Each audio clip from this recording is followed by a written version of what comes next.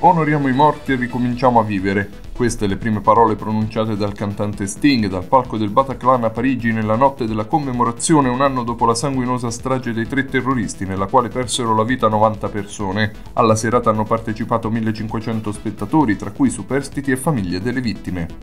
È stata di magnitudo 4.2 la scossa di terremoto registrata ieri alle 15.43 tra il Lazio e le Marche. L'epicentro è stato localizzato a 4 km da Accumoli e a 9 da Arquata del Tronto. Intanto a Norcia, manifestazione di protesta ieri dei cittadini che chiedono subito case in legno. Un uomo è rimasto ferito da un colpo di pistola durante una manifestazione a Portland e circa 200 persone sono state arrestate a Los Angeles. Questo è il bilancio della terza notte consecutiva di proteste contro l'elezione di Donald Trump. Nel weekend si prevedono altri cortei di contestazione in altre città americane.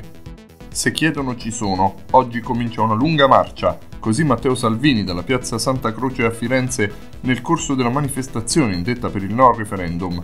Se vince il no si va a votare, ha proseguito il leader del Carroccio, e scelgono i cittadini, non Mattarella.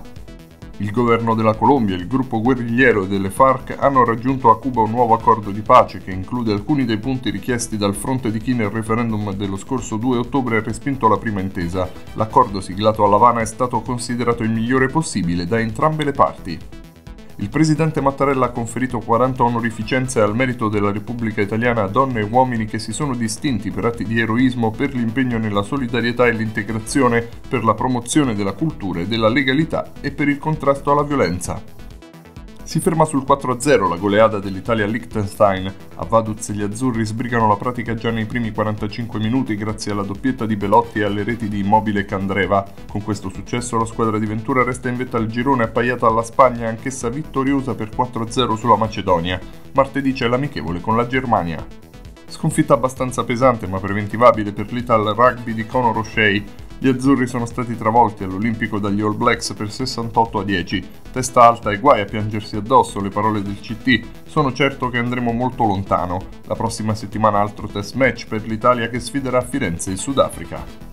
Lewis Hamilton ha ottenuto la sessantesima pole position in carriera, avvicinandosi sempre di più al record di 68 di Michael Schumacher. Nelle qualifiche del Gran Premio del Brasile, il tre volte campione del mondo ha preceduto il compagno di squadra Nico Rosberg e il ferrarista Kimi Raikkonen, quinto tempo per Sebastian Vettel.